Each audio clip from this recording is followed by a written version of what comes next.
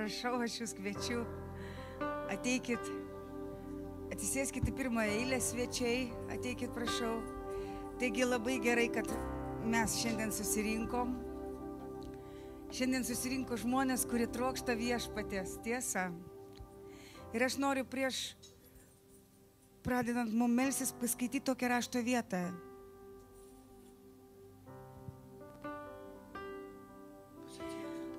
22 skyrius Mato Evangelijos, 22 skyrius 36 eilutė.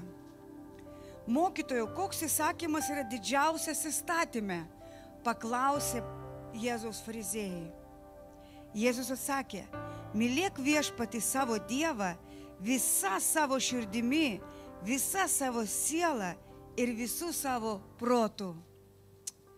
Kaip iš tikrųjų yra nuostabu ir kaip paprasta. Koks didžiausias įsakymas? Nu ką čia tokio didž... mums padaryti, kad parodyt Dievui meilę, ne? Kad parodyt jam savo tikėjimą. Ir, ir Dievo žodis sako, mylėk viešpatį. Visa savo širdimi. Tiesiog mylėk viešpatį. Garbink jį, būk su juo. Džiaugis juo. Tai pirmasis ir didžiausias įsakymas. Tai yra svarbiausia mūsų gyvenime, kad mūsų širdis būtų atvira prieš Dievą ir mes mylėtumėm. Antrasis panašus į jį - mylėk savo artimą kaip save patį. Taigi mes mylim viešpatį ir mylim vienas kitą. Aleliuja.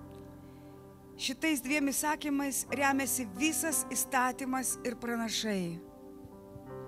Visa esmė yra tame, brangieji. Tiesiog mylėkim viešpatį. Kada tu mylėsi viešpatį, tau nereikės ten kažkaip ypatingai galvoti, kaip čia mums dabar jį pašlovinti, kad jisai mus girdėtų, kaip čia mums gėdot, kaip čia geriau prasiveršti. Tiesiog aš tave viešpatė myliu ir noriu tave garbinti. Aš myliu tave viešpatė. Ir žinai, kada tu turi tokius meilės santykius su Dievu, kai tu jį myli, tavo širdis automatiškai myli brolius ir seseris, myli artimus. Kada tu myli Dievą, tada ateina meilė artimui. Sutinkat su manim. Taigi, tiesiog Dievui patinka, kad tu šiandien čia atėjai. Aš galiu pasakyti tikrai tai. Nes tu jį myli, tau patinka garbinti jį. Tau patinka kartu su broliu seserim šlovinti, melstis, klausyti jo žodį. Kartais mes, žinokite, labai viską sudėtinginam. Mums atrodo, kad krikščionybė ir Dievo karalystė yra labai sudėtinga, bet iš tikrųjų viskas yra labai paprasta, brangėja. Dievo karalystės labai paprasta yra iš tikrųjų viskas. Mylėk Dievą ir mylėk savo artimą. Šlovink jį, garbink jį. Ir kada tu myli, tu jį garbini. Taigi pradėkim jį šlovinti dabar. Viešpatė, mes šlovinam tave šį vakarą. Mes mylime tave viešpatė, mes garbiname tave. Mes lenkiamės prieš tave, mes mylim tave Dieve. Tu mūsų Dievas, mes mylim tave. Aleliuja. Aleliuja, aleliuja, Jėzau. O Jėzau, mes mylim tave. O mes mylim tave. Mes trokštam tavęs. Mes trokštam tavęs mūsų viešpatie. Mes mylim tave mūsų viešpatie. Mes garbinam tave. Mes aukštinam tave. Mes lenkiamės prieš tave. Mes mylim tave. Mes šlovinam tave. Mes giriame tave. Mes aukštinam tave. Mes trokštame tavęs. Mes aukštinam tave. Mums reikia tavęs, mūsų viešpatie.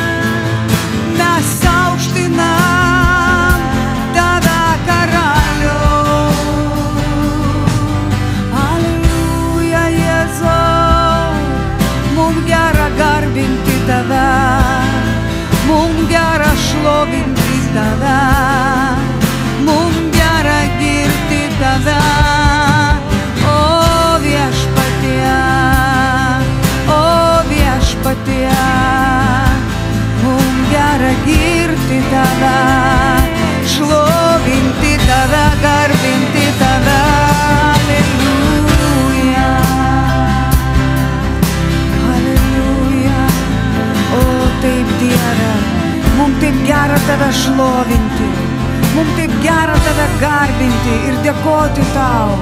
Ačiū tau Dieve. Aleluja. Ačiū tau Dieve. Dėkojame tau, šloviname tave. Tiesiog kalbėk su Dievu, melskis Dievui, tiesiog dabar. Malys Bogu, gavarys Bogam. Aleliuja. Viešpatė mes mylim tave. Mes artinamės prie tavo malonės sosto. Aleliuja,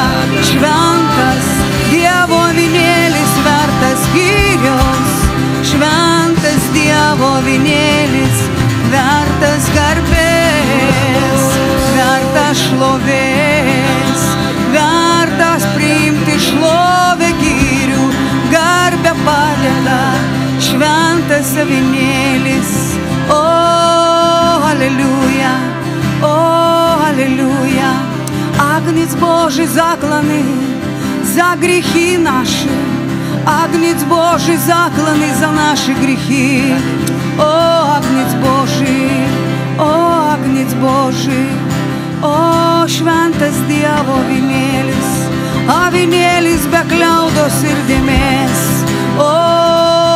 o buvo skerdžiamas už mūsų nuodėmes, už mūsų kaltes, o kentėjo, o jisai buvo, o užmuštas už mus, o nukryžiuotas už mus, šventas avinėlis, vertas gyriaus garbės šlovės. Aleliuja, aleliuja. Oro meni magana monda, oro braba da da da da. Jisai prisėmė kūną ir kraują, jisai buvo Dievo sūnus, žmogus ir Dievas. Aleliuja, jis kentėjo už mus. O, aleliuja. Kono malo moro magani negena moro basi quinda la magati gede. Conti la masikera bari boro bezi bajika la brottia. Onge trece diana. Pronto lo me che tere mene rotinki. I sam žinas dievas ir roka tere te te te la. On quina mala matsikela brode. Gyvas, gyvas, gyvas per amžius mūsų dievas glorija tendė laboro bebe.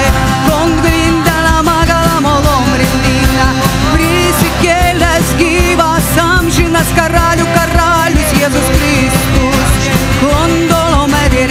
de de la.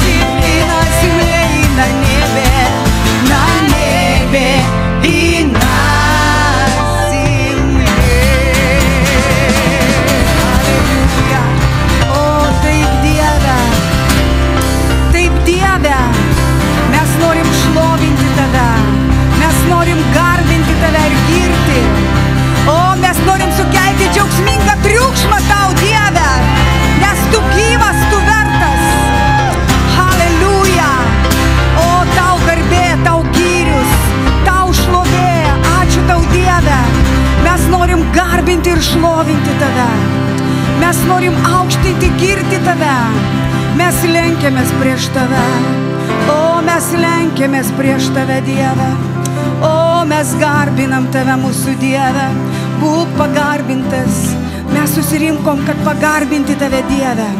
Būk pagarbintas. O viešpatė, mes dėl tave susirinkom, kad tave pagarbintumėm šiandien. Šį vakarą mes atiduodam visą garbę tau, visą gyrių atiduodam tau, visą šlovę. Ir kol gyvensim šitoj žemėje, mes norim шловинти и гарбинти Тебя. Пока дыхание есть, я буду петь Богу моему. Пока я буду жить на этой земле, я буду петь моему Богу и славить Бога моего в песне. Я буду петь Ему всю хвалу. Я хочу жить для Тебя. Aš noriu gyventi tau, tarnauti tau, pažinti tave. O tu nugalėjai mirti, tu prisikėlei, tu atpirkai mane, tu išteisinai mane, tu nuplovi mane savo krauju. Пока дыхание есть, я буду петь Богу моему.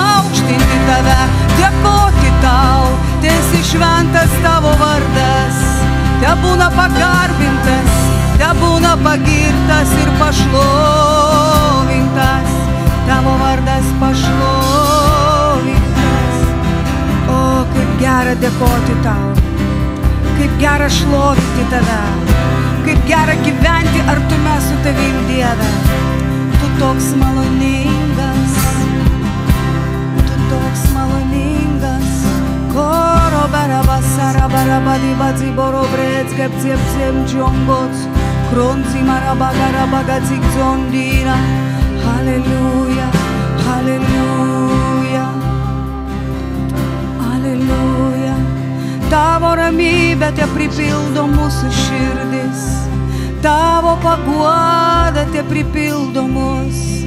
Tavo išminties ir apreiškimo dvasia tegul nužengia ant mūsų. O Dieve, mes lenkiamės prieš tave. Mes aukštiname tave. Garbiname ir gyriame tave. O Dieve, atiduodam gyrių tau, atiduodam šlovę tau. Aleliuja. Vertas visos šlovės ir gyriaus, tu vertas visos garbės. Viešpatie, aš dėkoju tau. Mes esame tavo kunigai ir karaliai. Ačiū tau Dieve. Ačiū tau Dieve.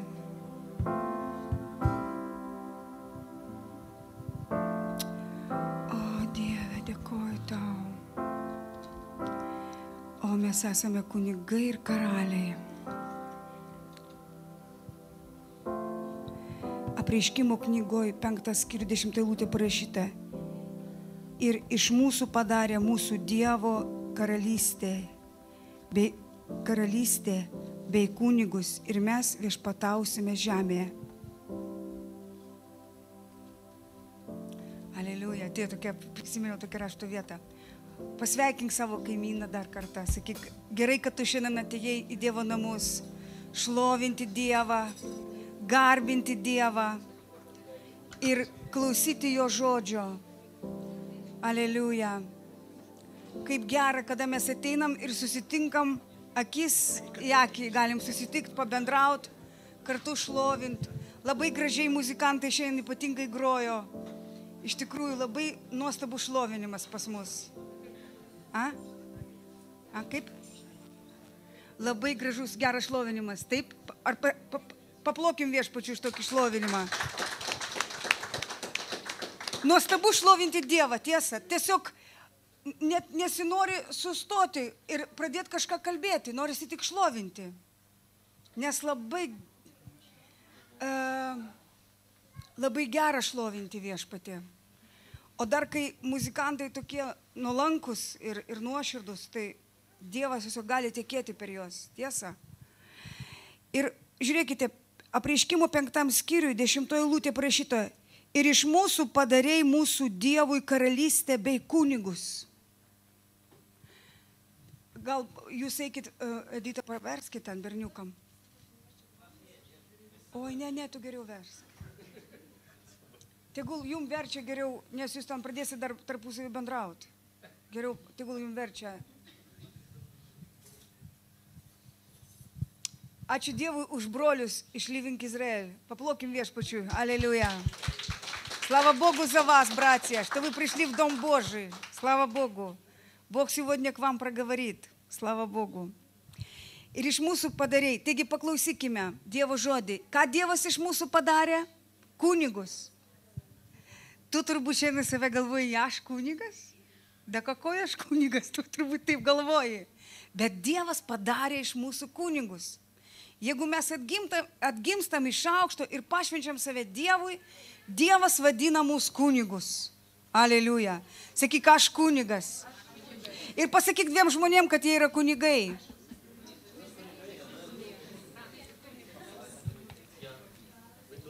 Paklausykit, žinot, aš jums pasakysiu, kada mes šlovinom, aš prisiminiau, mes buvome uh, su, su šlovinimo grupė nuvažiavę į Davido palapinę, tai buvo šlovinimo stovykla. Dievas duos kitais metais mes važiuosim. Ten buvo atvažiavusios visos jaunimo grupės. Ir mūsų jauni, buvo irgi tokia, irgi jaunimo grupė. Ir mus pakvietė. Ir ten vienas Dievo tarnas, jaunimo tarnautojas iš Baltarusijos, jisai pamokslavo apie šlovinimą. Ir žinote, tiesiog norėjau vieną mintį pasakyti prieš pradedant kalbėti tai, kad Dievas man dėjo širdį. Atsiverskime romiečiams laišką, 12, uh, uh, 12 skyrių.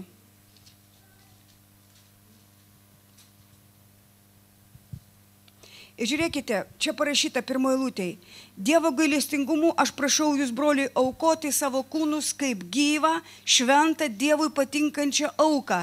Tai ir mūsų sąmon, jūsų sąmoningas tarnavimas. Ir neprisitaikykite prie šio pasaulio, bet pasikeiskite, atnaujindami savo protą, kad galėtumėte ištirti, kas yra gera, priimtina ir tobula Dievo valia. Žinote, ko, kaip tiesiog mano širdį džiugino, kada kalbėjo apie garbinimą, kad tai yra sąmoningas tarnavimas, kad tai yra tavo sprendimas šlovinti Dievą, kad tai nėra jausmai. Bet Dievas padarė mūsų kunigus, ane? O ką kunigai daro? Jie atnašauja aukas. Ir kad tai yra sąmoningas tavo sprendimas. Tu sąmoningai apsisprendi šlovinti Dievą. Tu sąmoningai Ir Senajam testamente buvo tokia e, aukos atnašaujamos, avinėl, avinėliai buvo skerdžiami, dabar e, ir buvo griech pavinasti, e, bet kaip čia išversti, griech pavinasti.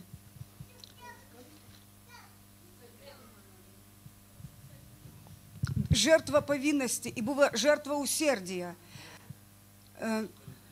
kalties, ta prasme, kada tu, paklausykit, kada tu atneši Dievui šlovinimo auką dėl to, kad Dievas tau kažką ypatingo padarė. Dėl to, kad tu esi jam dėkingas, jis tave išgydė, išgelbėjo ir kad kai tavo gyvenime tau kažkas kažką, žinai, padovanoja, tau Dievas kažką tau padaro, tavo gyvenime viskas gerai klostosi Ir aplamai tu suvoki, kad tu esi išgelbėtas ir tau taip gera, ir tu ateini į bažnyčią, ir bažnyčia labai geras šlovinimas, ir tau taip lengva šlovinti. Tai yra tokia auka. Bet yra žertva usėrdėje, tai olumo auka, kada tu sąmoningai apsisprendi ir šlovini Dievą, nežiūrinti nieką, kas vyksta tavo gyvenime, koks čia yra šlovinimas, kas ten tavo gyvenime buvo, galbūt tai ne per sunkius laikus, bet tai yra sąmoningas apsisprendimas. Ir tai va yra jau kitas lygis. Ir aš tikiu, kad Dievas nori šiandien, kad bažnyčioje mes būtume, būtent turėtumėm tokį tarnavimą, va kaip čia parašyta. Žiūrėkite, Romiečiams 12. Dievo gailestingumu aš prašau, broli, aukoti savo kūnus kaip gyvą, šventą Dievui patinkančią auką. Taigi Senajam testamente kunigai atnašaudavo aukas. O šiandien mano tarnavimas, mano pasišventimas Dievui, tai, kad aš save atskiriu Dievui, tai yra auka. Šventą kūną, žiūrėkite, aukoti savo kūnus kaip gyvą, šventą, Dievui patinkančią auką, tai jūsų sąmoningas tarnavimas. Taigi yra sąmoningas tarnavimas tu sąmoningai apsisprendi ir uoliai tarnauji Dievui. Man taip, mes tiesiog buvom palaiminti, kada mes girdėjom tokį žodį. Tai yra sąmoningas tarnavimas. sąmoningas. Tu sąmoningai tai darai, tu apsisprendi, tai yra tavo sprendimas tarnauti Dievui. Tu save, žinot, kas yra pasišventimas ir sąmoningas tarnavimas. Tu nusprendi atskirti save Dievui. Klausyti Dievo, daryti, ką Dievas sako, paklūsti jam. Ta prasme, tu pašventi save, savo gyvenimą kaip auką. Savo laiką, savo energiją. Ir kaip Abromas atnešė auką Senajam testamente. Neapsiblaškykit, pasimelskim dabar. Haleliuja Dieve. Aš meldžiu, kad tavo išminties ir apriškimo dvasia nužengtų ant kiekvieno. Viešpatė, mes drebam prieš tavo žodį. Mes norim pažinti tave. Mes norim, kad šitas žodis pakeistų mūsų gyvenimą, mąstymą. Kad mūsų mąstymas pasikeistų. Tada mūsų charakteris keičiasi, mūsų elgesys keičiasi. Ir tavo šlovė būna prieškiame per mus. Tavo jėga būna prieškiama per mus. Mes norim pažinti tave, nes tu esi mūsų Dievas. Džala.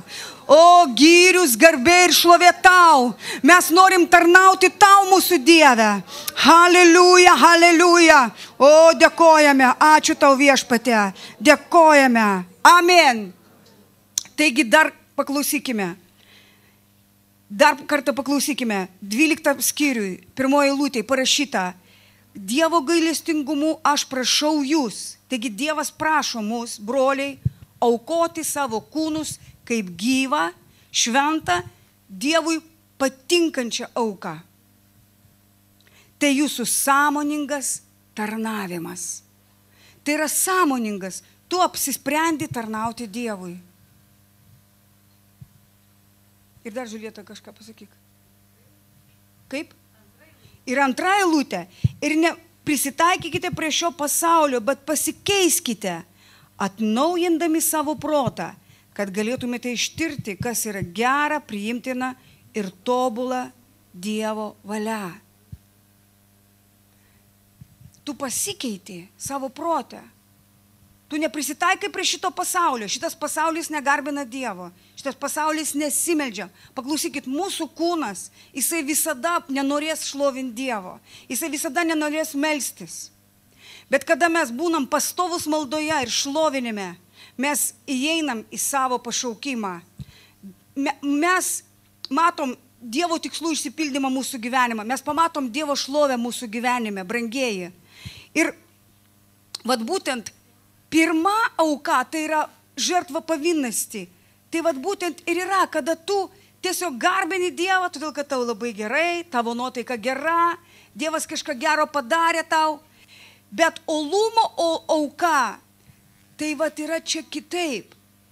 Čia yra, kai tu tiesiog apsisprendi ir būni olus garbinime. Apsisprendi, kaip Abromui Dievas pasakė, atnešk sūnų. Prisimenat, ir jisai nešė. Tai ir Dievas, suprantat, mūsų santykiai su Dievu auga, kada mes ateinam pas jį, atgimstam iš aukšto. Po to mes turim bendravimą su juo, gyvenam ir mūsų santykiai su Dievu auga. Jau kitas bendravimo lygis, kada Dievas tau sako, paukok savo gyvenimą man kažkokį laiką, kažkokią energiją, kažką, kas tau yra brangu, kas tau labai svarbu. Dievas sako, atnešk savo gyvenimą kaip auką man. Ir kada žmogus atneša save kaip auką, įsivaizduokit, naujajam testamente mes net našaujam jokių avinėlių, jokių aukų neskerdžiam, nepjaunam avinėlių. Vienintelė auka žydams laiške parašyta 13 skyriui 15 eilutėje parašyta, per jį visuomet atnašaukite Dievo išlovinimo auką. Tai mūsų lūpų gyrius. Tai yra mūsų gyvenimo būdas. Mes nuolatos garbinam Dievą. Ne pagal tai, kaip mes jaučiamės, ne pagal tai, kaip mums kas atrodo, mes tiesiog apsisprendę ir pasišventę Dievui. Ir mes nuolatos jį garbinam. Aleliuja. Kaip tai yra nuostabu. Ir čia Paulius jisai sako, kad aš jūs maldauju, kad atneškit savo, savo kūnus kaip auką. Atneškit, kad tai yra naujo testamento tarnavimas, kunigų tarnavimas, kada aš atnešu Dievui auką. Kada mano nuotaika bloga, bet aš vis tiek keliu rankas į Dievą, aš vis tiek jį garbinu, aš vis tiek lenkiuosi, aš melžiuosi. Ir tai yra auka. Ir tai patinka Dievui, kada tu, nepa, tu neprisitaikai prie šito pasaulio, bet tu pasikeiti, tu mastai kaip Dievas masto, tu darai tai, ką tau Dievas sako. Ir tai yra nuostabu, tokia bažnyčia, jinai gali įtakoti šitą pasaulį. Tokia bažnyčia gali įtakoti pasaulį.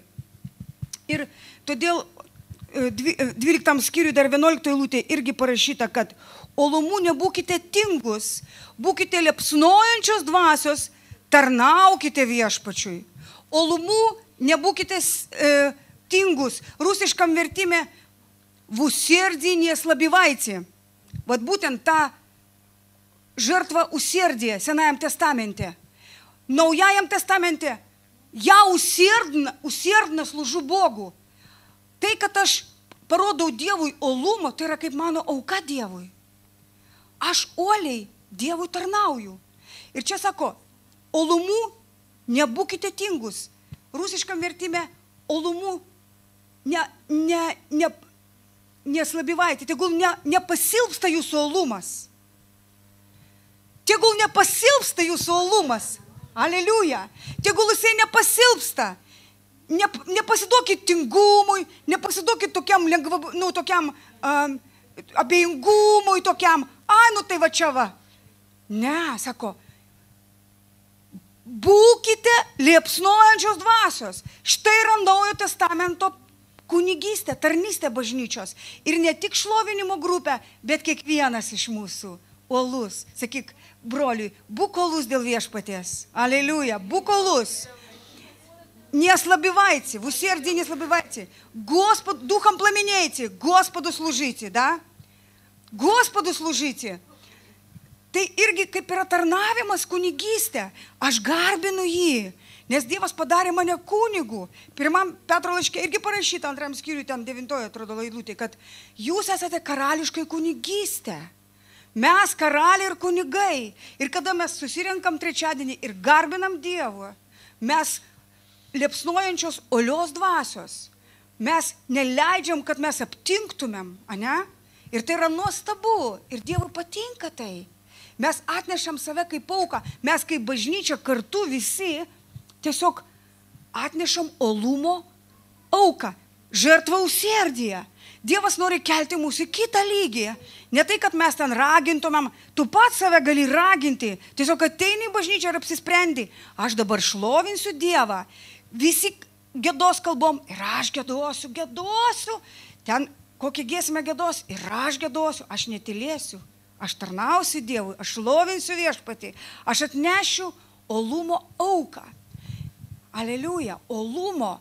Ir šiandien krikščionybei kažkoks yra va toks va dalykas, kad mums atrodo, kad kaip ir bažnyčia, tai va, mes ateiname, aš vakar kalbėjau poslinkautoriui apie bažnyčią.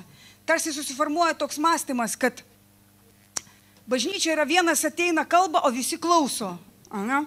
Один выступает, все слушают. Один танцует, все хлопают. Аллилуйя. Bet bažnyčia yra, mes visi kartu, uoliai tarnaujam Dievui. Sakykime, mes visi tarnaujam Dievui. Visi. Ale vieno, aliluja. Mes visi tarnaujam Dievui. Ir bažnyčia nėra, kad vienas pamokslauja, kiti klauso, žiūri. Tikrai, tikrai, tikrai ne taip. Aleliuja. Kaip gerai kad, kad Dievas tikrai taip nekūrė. Bažnyčia nėra teatras, kinas, atėjau, pasižiūrėjau, gerai buvo, išėjau. Tai ne tai. Bažnyčia yra Kristaus kūnas. Aleliuja. Bažnyčia yra surinkimas šventųjų kunigų, kurie atnašauja šlovinimo auką. Žmonės, kurie sąmoningai susirenka ir garbina Dievą. Kaip tai yra nuostabu. Sakyk, sąmoningas tarnavimas. Sąmoningas sąmoningas tarnavimas. Ir aš sąmoningai garbinsiu Dievą, kelsiu rankas į Dievą, šlovinsiu savo Dievą, girsiu savo. Ir va šita gesmė, tol kol gyvenu, aš gėdosiu tau, aš šlovinsiu tave. Galbūt aš nesuprantu Dievę kažko savo gyvenime.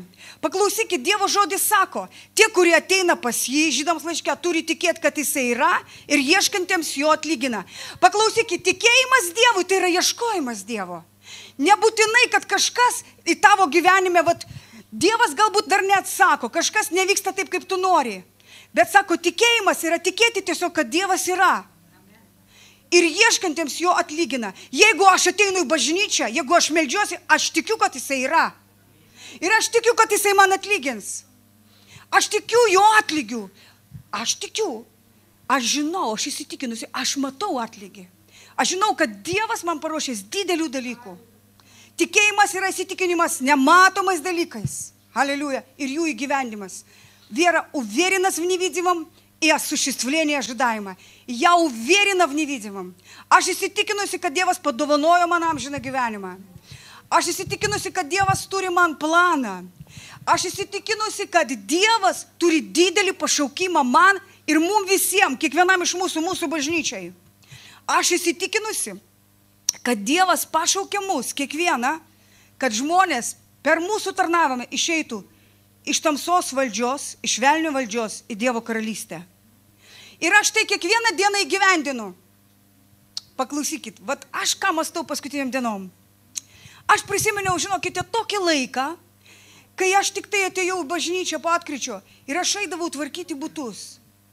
Ir aš dabar, kai prisiminiau šiandien, kada stovėjau virtuvį, valgy dariau, kaip aš ėjau, aš prisimenu dabar, aš eidavau tokia išvargusi, tai baisiai apsirengusi. Bet aš visada savo vidu žinojau, kad tai yra laikina, kad Dievas išves mane į kitą lygį.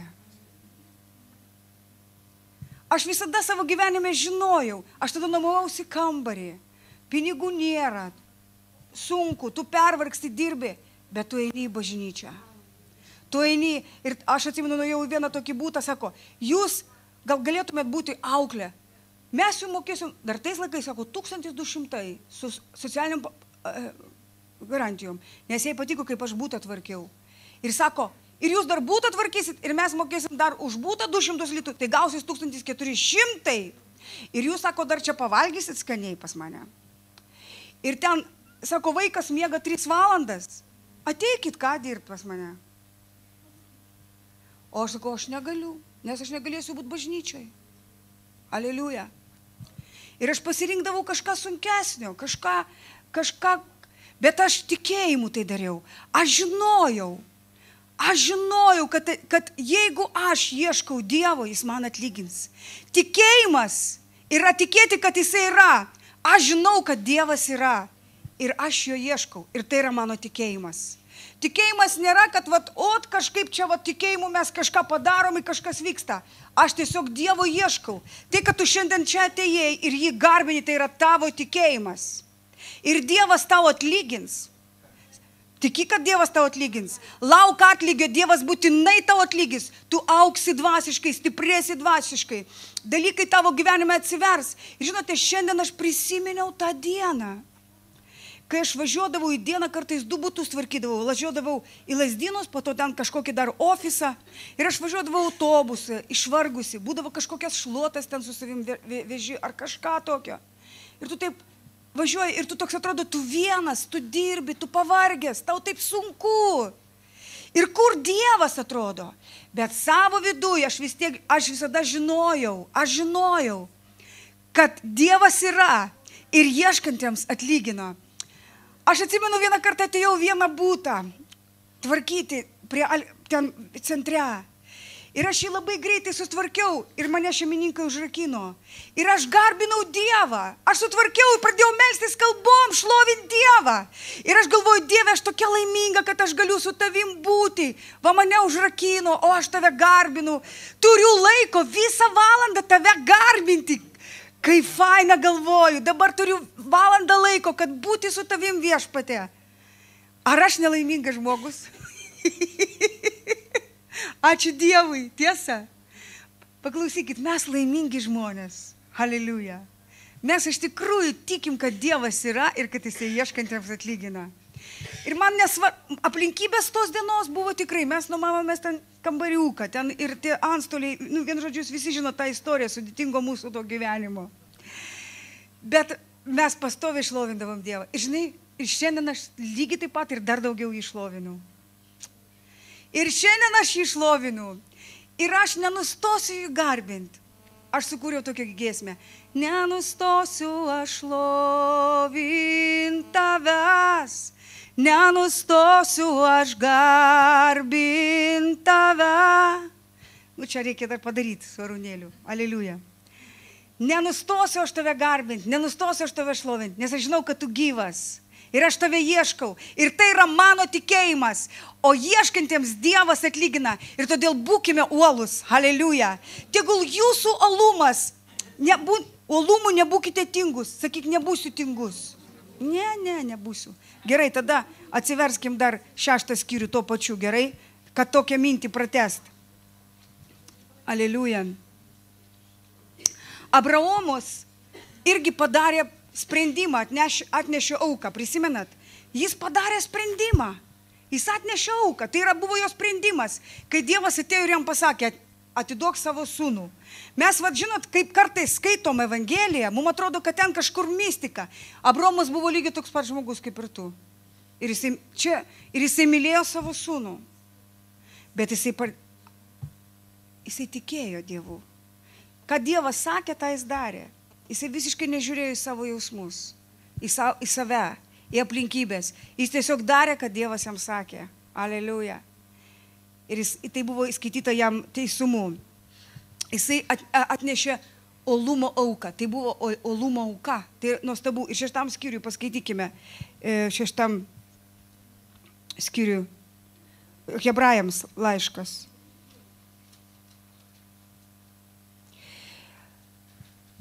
Dešimtą eilutę. Aš jau kažkada susirinkime skaičiau šitą rašto vietą, bet jeigu Dievo dvasia rodo ją skaityti, mes ją ir skaitysim.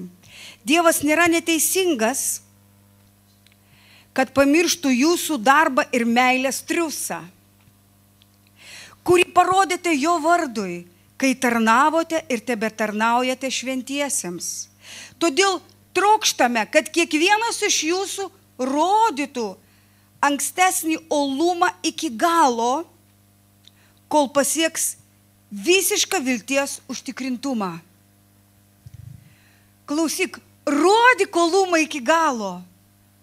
Rodyk. Sako, trokštame, kad kiekvienas iš jūsų rodytų iki galo olumą. Yra kažkas iki galo.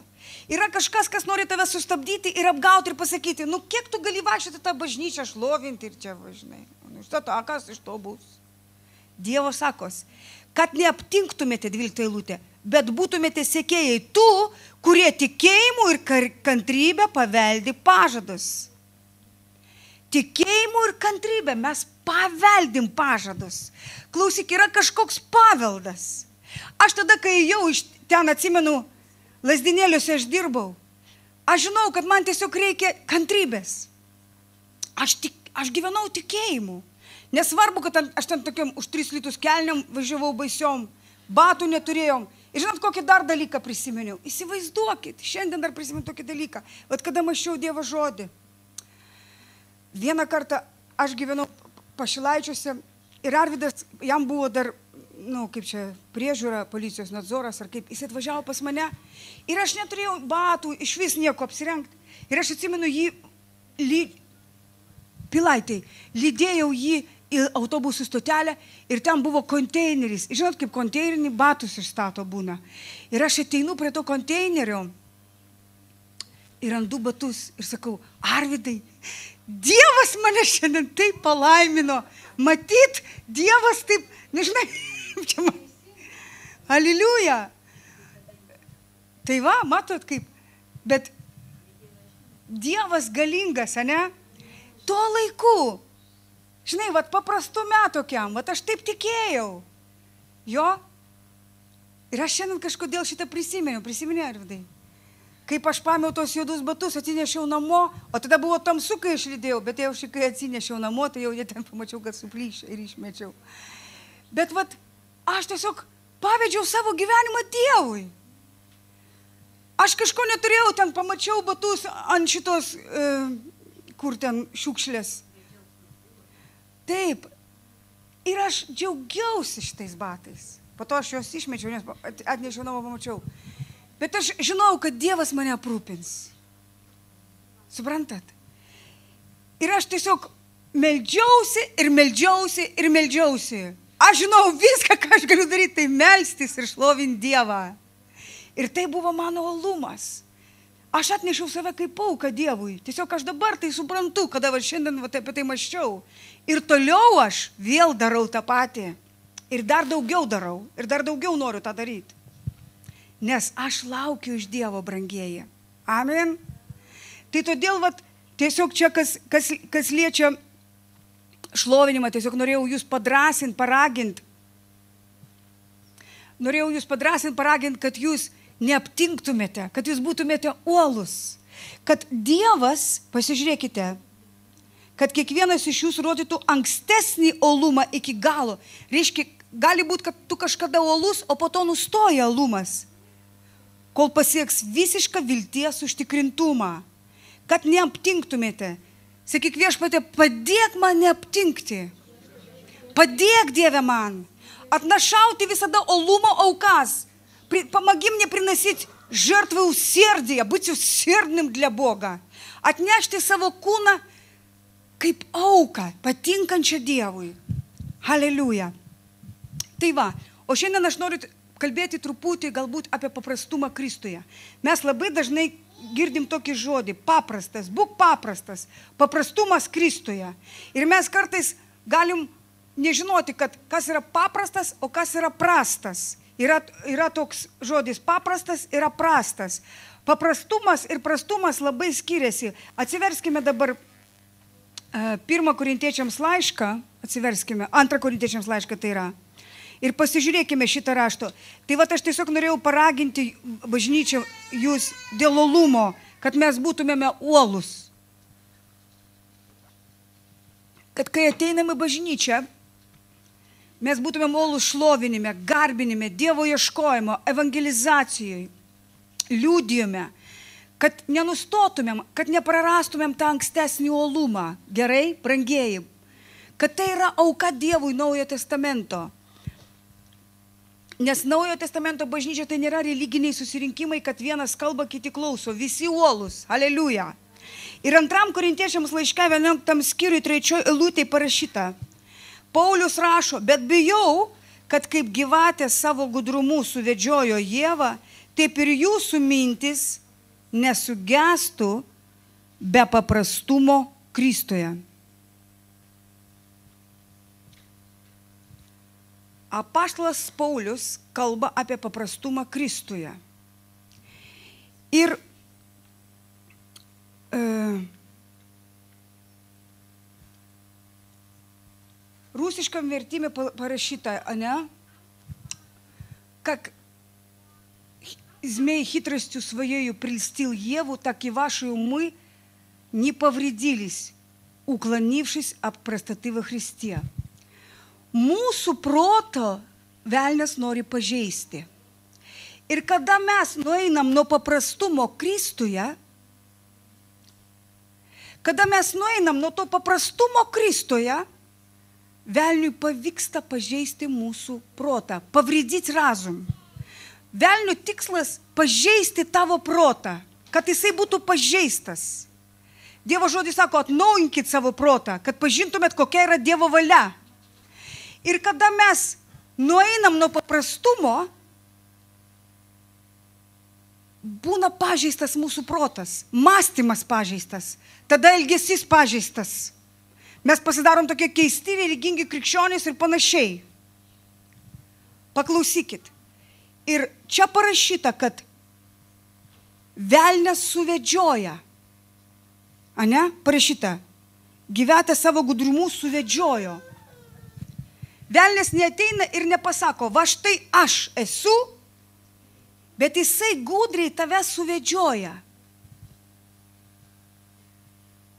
Jo tikslas tave suvedžioti nuo paprastumo Kristuje.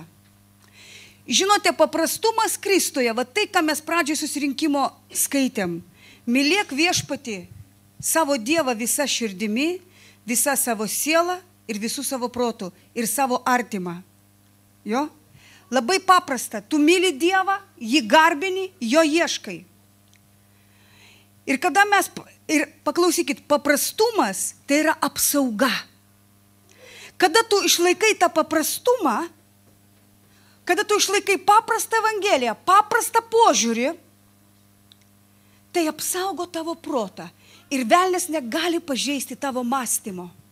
O velnio tikslas - atitraukti tavo mąstymą ir pažeisti tavo mąstymą. Atitraukti tave nuo paprastumo. Dabar žiūrėkite, kaip, ką reiškia žodis paprastas. Kokia reikšmė šito žodžio? Aš e, e, e, išsiverčiau, žiūrėkite, žodinė parašyta. Prastata tai yra švarus, nekaltas, nepavrėždionai, toks nepažeistas, be priemaišų, bis primesiai. Pras, paprastas, ką reiškia žodis paprastas? Tai yra tyras, čistai, nevinai, nekaltas, švarus, toks paprastas. Va tai yra žodis paprastumas. Tai yra žodis paprastumas. Paklausykit, velnio tikslas padaryti sudėtingą tikėti Dievą. Padaryti tave sudėtingą, iš viso padaryti tą gyvenimą tokį sudėtingą. Oi, ir, ir pamokslavimas sudėtingas, ir Dievo karalystė sudėtinga. Ir oi, kaip čia mes pranašausim, čiagi taip toli sudėtinga. Žinai, mes galim kalbėti su tavim mašinoj ir Dievas per mane gali tau pranašauti. Ugdyti tave, Pažinimo žodis. Arba tu gali tiesiog ateiti, mes galim bendrauti vienas su kitu ir Dievas gali man duoti pranašystę tau. Tiesiog bendravimo metu. O mes sakom, o kaip ten ta pranašystė, o kaip ten tos dvasios dovanas veikia. Ir mes viską taip sudėtingai matom. Ir todėl mūsų protą velnės pažeidžia. Ir mes kaip tokie, žinai, nueinam nuo to paprastumo. Žinokite, Dievas yra labai paprastas. Aleliuja. Ir Paulius sako, aš bijau, Kodėl jisai sako? Todėl, kad va čia ir prasideda visos problemos. Kiek daug šiandien krikščionybėje, va tiesiog aš žinau net krikščionys, kurie tiesiog mylėjo Dievą, garbino jį, šlovino, aukojo, evangelizavo. Ir staiga jie pasidarė tokie tikintis, kad ir aš nesuprantu jau jų visai.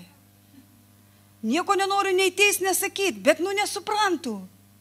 Ir va aš dabar suprantu, kodėl Paulius sako, tas paprastumas, jisai apsaugos jūsų protą nuo visokių, reiškia, pagėdimų. Kaip Biblijoje titulaškai parašyta, tai yra, sako, žmonės sugedusio proto.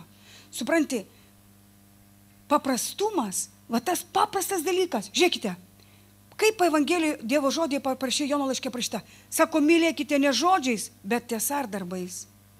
Ane? Oi bažnyčia, tai čia supranti, vad bažnyčia. O bažnyčia yra, kai mes susirinkam ir vienas kitam tarnaujam. Amen. Kai mes padedam vienas kitam, nueinam, žinote, aš atsimenu tokį dalyką. Kai aš tik įtikėjau, nuvažiavau, šiandien man nuosi apdraskė katė. Aleliuja. Draugiškai jinai man apdraskė. Kai aš nuvažiavau į Sočių, prisimenu, dar su Kastyčiu mes nuvažiavom. Ir ten mes nuvažiavom sėkmininkų bažnyčią, o aš tokia jauna tikinti. Ir pas mane tokia suknelė, va čia va taip va.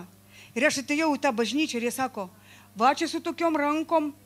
Ir jie pradėjo visą susirinkimo diskusiją, su kokiom apsirengimais reikia šlovinti Dievą.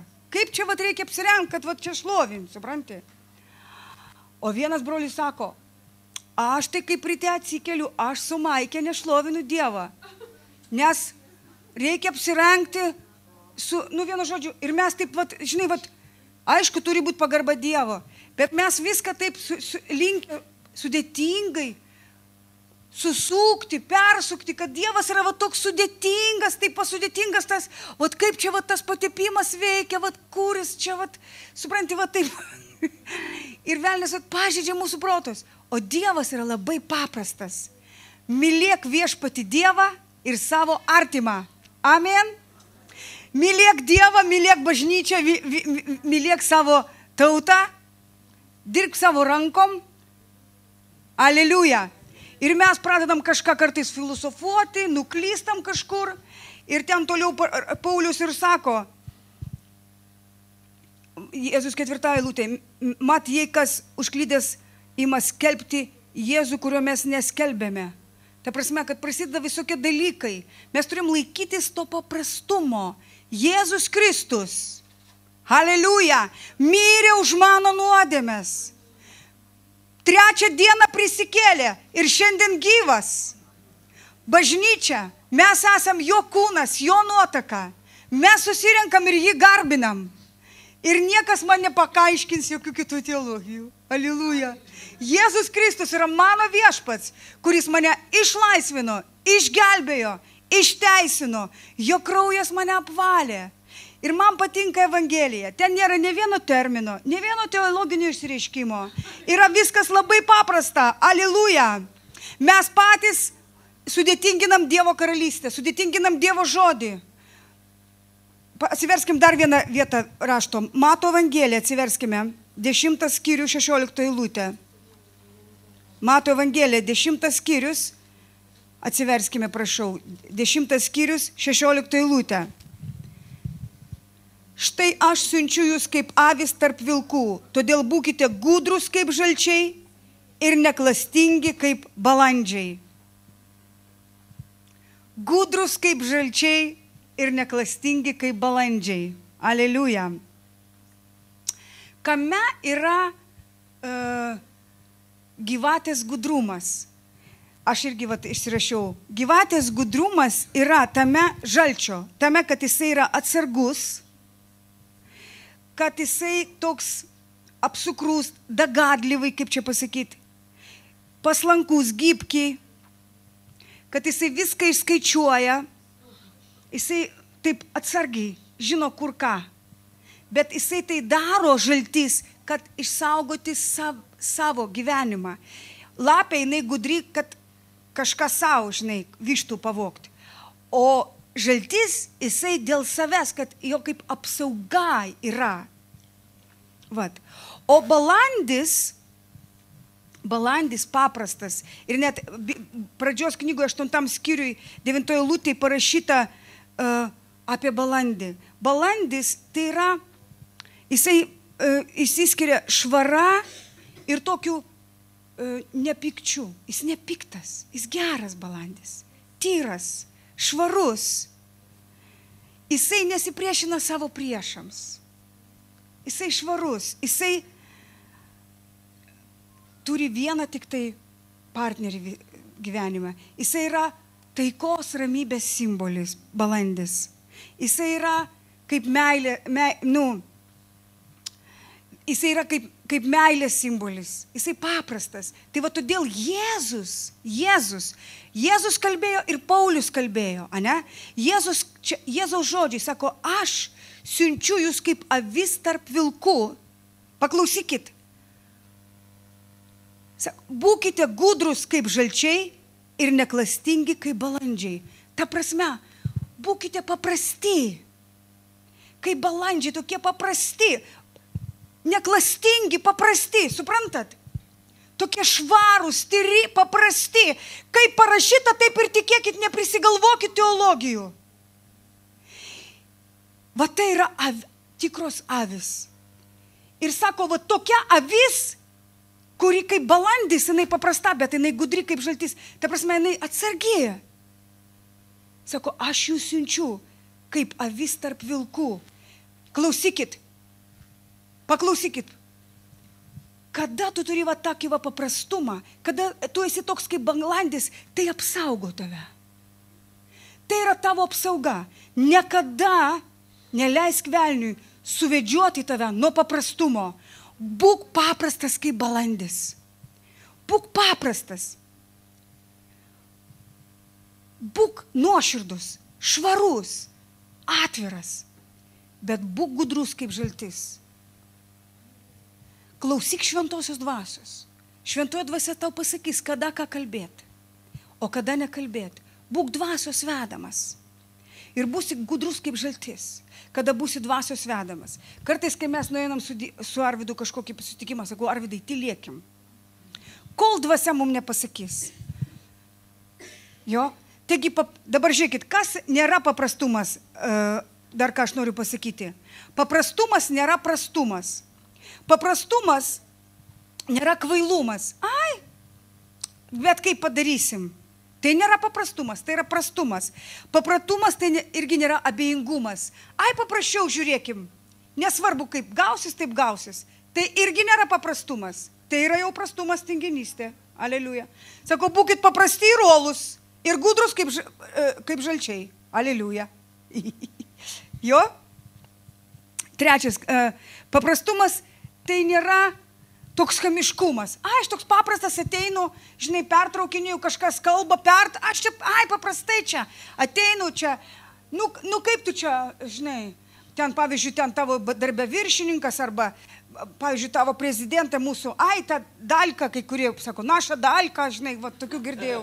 Žinai, čia jau yra nepaprastumas, čia jau yra prastumas, kvailumas, neišprusimas ir taip toliau. Tai va todėl norisi šiandien, kad mes suprastumėm, kas yra paprastumas. Kas yra tas paprastumas? Paprastumas, vad būtent šito žodžio reikšmė ir yra, kada tu švarus, tyras, atviras, tu kaip balandis, kuris nesipriešina blogiui, kuris yra šviesus, kuris, kuris yra mielas, paprastas. Aleliuja. O gudrus kaip balandį, o gudrus kaip žaltis. Atsargus esi, budrus.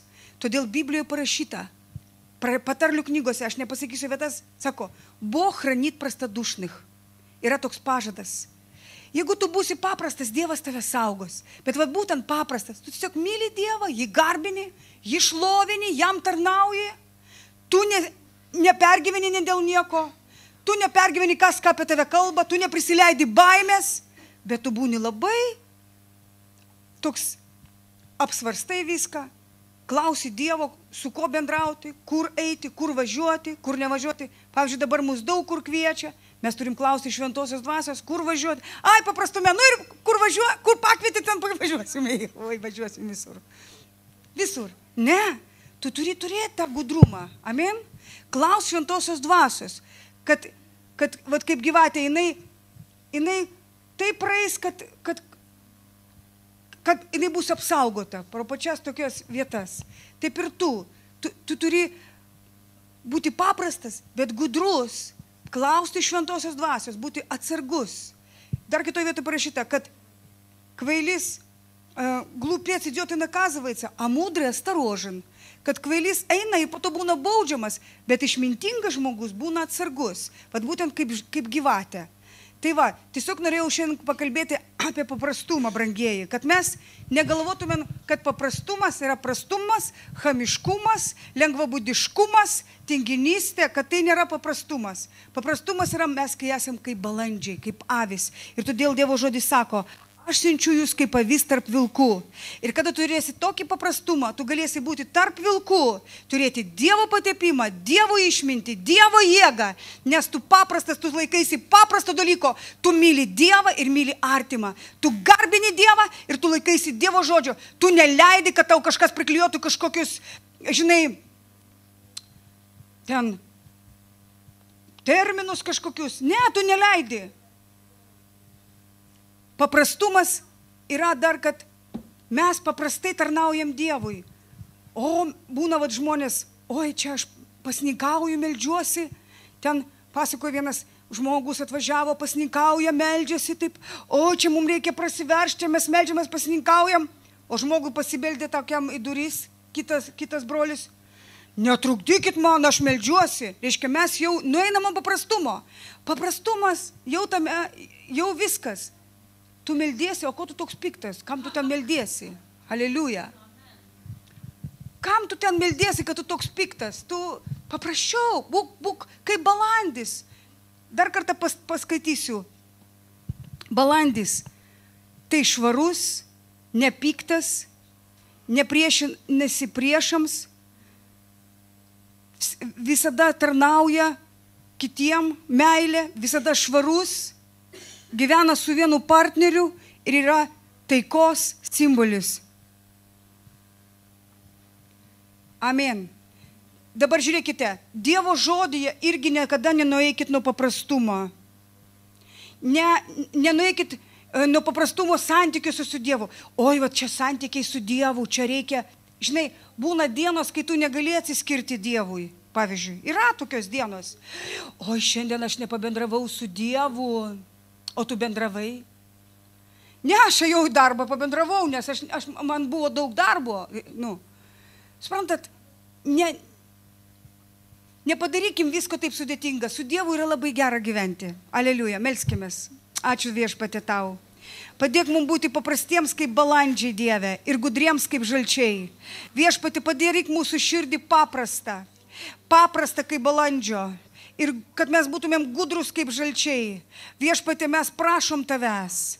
Mes prašom tavęs Dieve, kad mes būtumėm viešpatė olios dvasios, kad mes būtumėm tarnautojai, kad mes sąmoningai tau tarnautumėm ir atskirtumėm tave savo viešpatė, save tau Dieve. Tau, tik tai tau Dieve.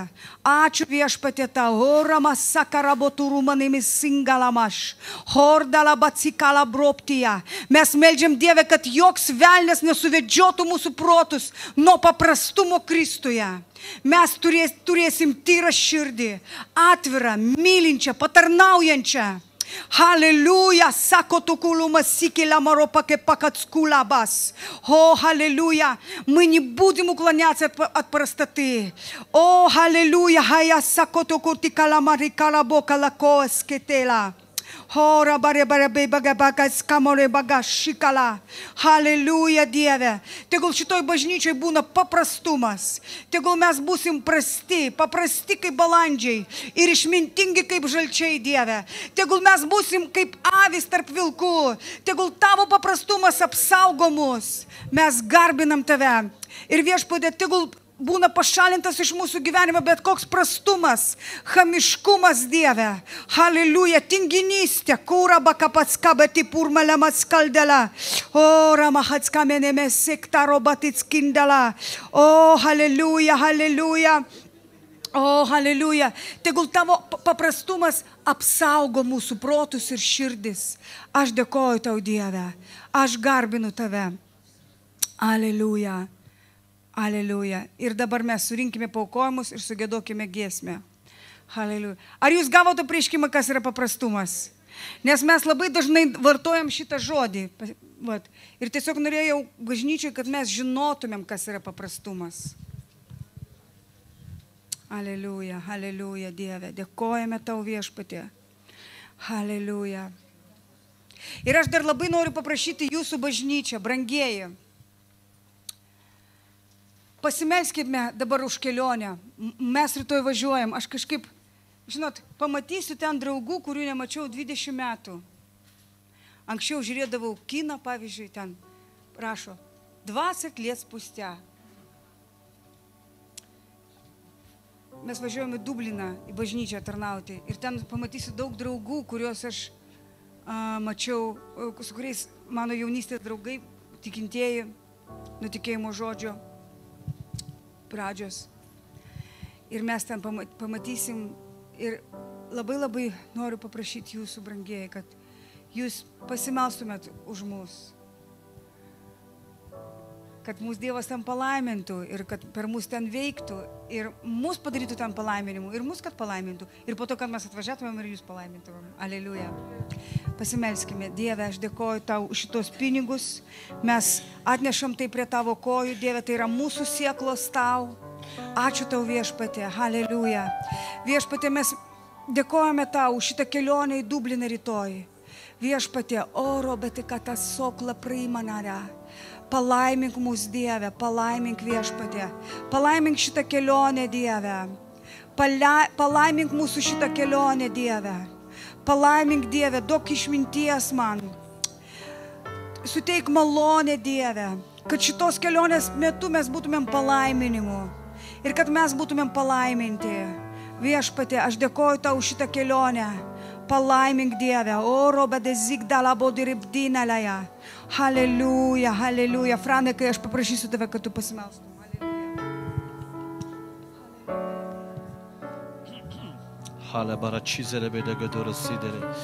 Да, встаньте вы здесь. Церковь, давайте помолимся. Harachabi habi de gedere şitere vide gudere men manara temani guduru cizere. Хола бе харалавала харамармара чинере мену гулибиды чидере. О, Господь, мы благословляем наших пастырей. Отец, во имя Иисуса, мы призываем Твою кровь, о, Твою защиту, Твою охрану, Твое устройство, Твою милость и благодать. О, Господь, на эту поездку, на эти встречи, на эти общения. О, Господь, чизере бихара чомен гадолу тилала. О, шадере галобара чамен медолоро. О, решидере види гобара темана. О, мы благословляем их. О, Господь, о, Господь, благослови этот путь. Благослови, Господь, их пребывание там. Благослови, Господь. О, во имя Иисуса, Отче, мы молим Тебя, пускай Твоя рука будет над ними. Мы молим Тебя, о, Господь, воля Твоя, пускай будет над ними. Отец во имя Иисуса, о, Боже мой, Чизери Бидегара, Эсен Чаламине Годара, о, дай им нужное слово, дай им нужное слово от Тебя. О, Господь, для наших братьев и сестер, дай им, Господь, о, слово от Тебя во имя Иисуса, чтобы они могли его передать им, чтобы они могли его открыть им. О, Господь, чтобы Ты благословлял Твой народ, чтобы Ты благословлял Твою церковь, чтобы Ты взращивал и поднимал веру, Господь, во имя Иисуса. Мы благословляем Ольгу и благословляем Арвидаса, провозглашаем кровь Иисуса. Господь, мы благодарим, Господь, за Твоих помазанников. Мы благодарим за Твоих служителей. Мы благодарим, Господь, они несут Слово Твое, они несут имя Твое, они несут свет Твой. И мы молим, Господь, благослови, защити, устрой, Господь, во имя Иисуса, во всех входах и выходах. О, Господь, будь с ними, во всех ситуациях и обстоятельствах. Будь с ними и показывай Твою славу, показывай Твою силу, Твое величие, Господь. Мы благодарим, Боже. Хора щада гадо гудера чидера. Хола махаратима нарасатоло. Хола мине гедера чидера. О, Господь, все, что Ты приготовил при этой встрече, о, Господь, покажи. Покажи через наших пастырей им и покажи нашим пастырям через ту церковь. Господь, пускай будут, о, Господь, все эти дни помазаны. Пускай все дни будут эти, Господь, чудными, Господь. Бог мой, Бог мой. Пускай приходят новые, новые, новые откровения, помазания. Отец, мы благодарим, благословляем. Спасибо Тебе, Господь. Мы славим Тебя, мы поклоняемся Тебе, мы воздаем Тебе всю славу. О, Господь, спасибо Тебе во имя Иисуса Христа. Amen. Gal galim sugėduoti šitą Jėzau, aš tavim tikiu. Jėzau, tavo aš esu. Tų gyvenimų. Man taip skamba šitą gesmė. Mes kai buvom šitą palapinį, aš kažkaip taip net išmokau tas gesmes. Nu, jos man įsėdo per tą palapinę, taip, kurias mes gėdojom. Taip gražu buvo iš tikrųjų. Aleliuja.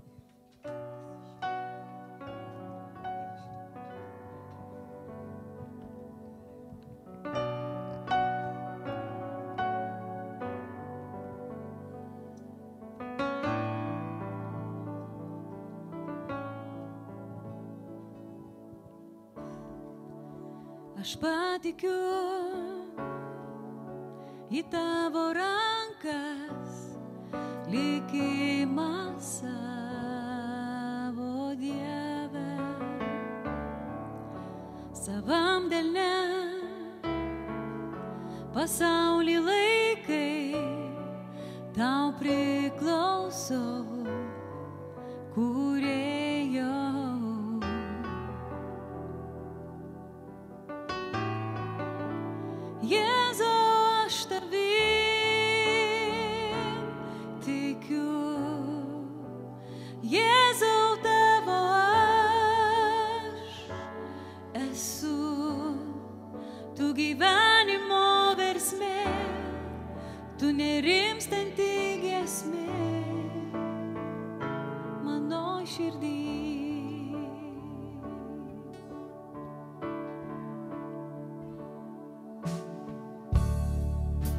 Su tavimi keliauju kartu ir džiaugsmo kalnais ir skausmo slėniais. Tik tai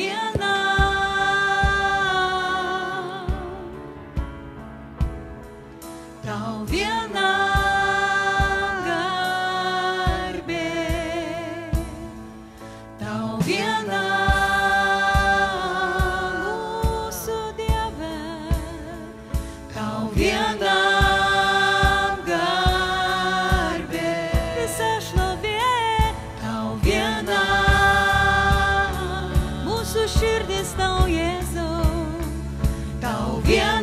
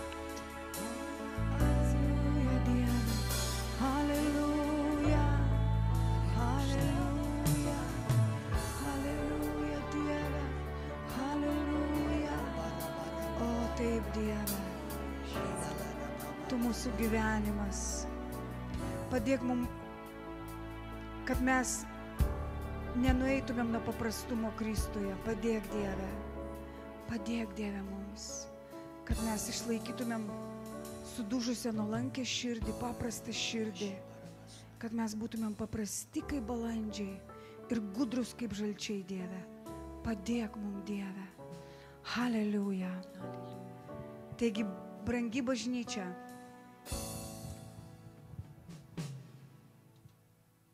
labai svarbu, kad šitoje bažnyčioje įtikėtų daug naujų žmonių. Atsiveskite į susirinkimą žmonės, melskite už netikinčius. Kada ateinate į susirinkimą, visada paskambinkit, pakvieskit kažką į susirinkimą. Yra pakvietimai, po susirinkimo galite paimti pas Arvidą pakvietimų. Kvieskit žmonės į Dievo namus, į bažnyčią. Nes Dievas nori, kad tarnavimo irgi tikslas, vienas iš tikslų mūsų - evangelizuoti. Viešpas pasakė, eikite ir skelbkite Evangeliją visai kūrinyjei. Taip? Tai yra jo regėjimas, tai yra tikslas. Tegul tai būna mūsų regėjimas ir tikslas - skelbti Evangeliją. O penktadienį susirinkime, susirinkit prašau maldai ir melskite už netikinčius. Tai yra speciali diena, kada mes melžiamės už Lietuvą, už žmonės, už netikinčius. Nes Dievo noras, tegul bažnyčia nenueina nuo to tikslo, kad per šitą bažnyčią būtų